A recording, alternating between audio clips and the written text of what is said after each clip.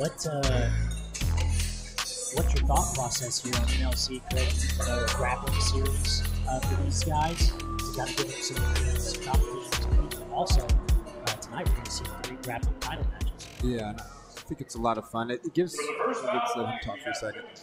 Brazilian Jiu-Jitsu at a catch weight of 130 pounds. Fighting out of the blue corner, representing Ground Zero Gym in Morgantown, West Virginia, weighing in at 118.6 pounds, Lily Schelling!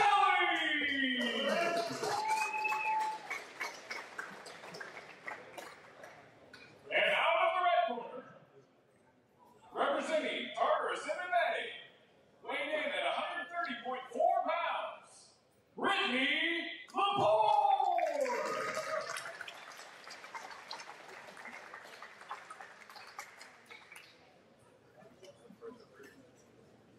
There you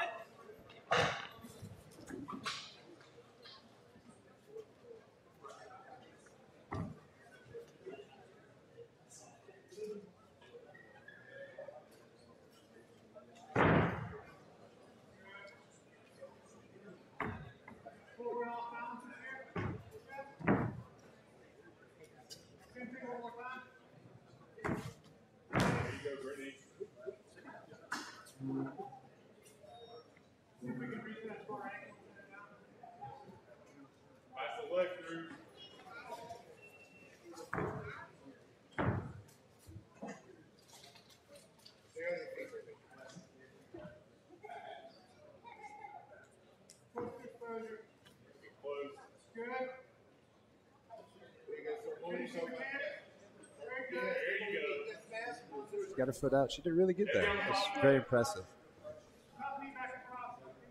Like she's staying heavy, like we were just mentioning. Yeah, look at that. Oh, she missed a good passing opportunity there, but Lee did a good job. And it's clear that she's hunting the legs, and it's probably why she sat down. Um, maybe she's trying something a little different. I've seen her wrestle a lot more in the past, but this is interesting. But I'm not. Again, I'm not surprised. It very reminds me a lot of Collins' game. Yeah, Good hip movement. I mean, all. just about had mount there, and Lily was able to regard. Yeah, now Leo's got a high guard, but she's got to watch from the arms there. Yeah, she's climbing up the back there.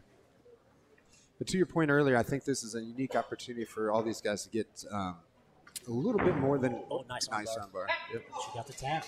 Yeah, good, job. Good match, guys. Great match up there. Nothing to be ashamed of there. It was, was a really good match. Oh yeah. Brittany was able to survive a leg lock there.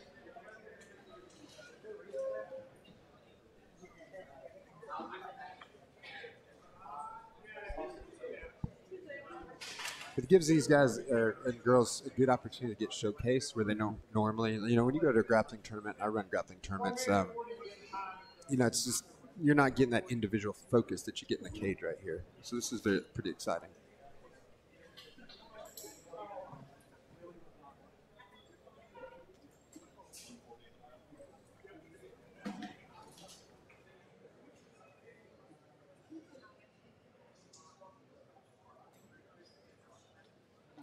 To announce the winner with 1 minute 40 into the round with the armbar, Lily Schelling!